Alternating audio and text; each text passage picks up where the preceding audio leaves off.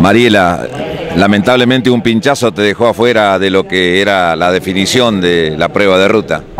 Sí, lamentablemente sí, pero bueno, hice todo lo que pude al principio de la carrera por el equipo, pero bueno, antes, antes de subir al cerro pinché y quedé sola y más si es subida, muy difícil poder alcanzarlo, no es lo mismo subir en pelotón que subir sola, encima después de quedar de, diferencia de metros atrás, y bueno, no, no pude ser, pero sé que hice todo lo que pude por el equipo, así que bueno, ahora queda ellas definir las que están adentro todavía. Da un poco de bronca porque faltaba solamente la vueltita esta nada más. Sí, sí, da un poco de bronca, pero bueno, ya está. ¿Qué se le va a hacer? Eh, para la próxima se sabe y bueno, habrá que ver qué se puede hacer o tener, qué sé yo, por ahí mejores condiciones, ponerle ver otra cubierta mejor, evitar pinchazo, no sé, tratar de, no sé, a veces se puede evitar, a veces no, pero bueno, a veces dice que pinchazo también es culpa de correr, pero no sé, a veces suerte también.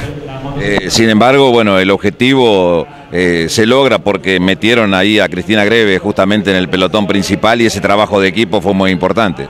Sí, yo creo que hicimos todas, igual que yo, Natalia Jawoski, eh, en las primeras vueltas estuvimos ahí tratando de que no se corte ni una fuga donde no estuvieran las argentinas, que eran las, había tres candidatas que teníamos marcadas para que, para que lleguen en la punta, así que nosotros hicimos todo lo posible en la parte plana donde teníamos posibilidades, porque en la subida Colombia y Venezuela hacen la diferencia, tratar de que en las vueltas previas no, no se haga el corte con esas chicas, sino una de las nuestras. Se está definiendo en este momento justamente la prueba. Estamos con Mariela Delgado observando. Una chilena acaba de ganar. Paola Muñoz lo anuncia el locutor oficial. Bueno, y Mariela llegó todo compacto. Eh, ahí deberías haber estado vos también dentro de esa definición.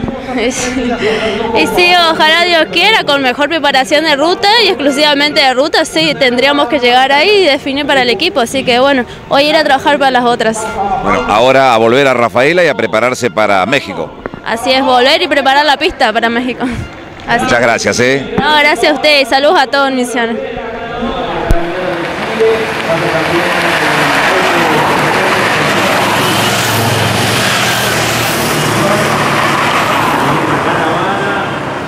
vuelvo contacto, absolutamente contacto.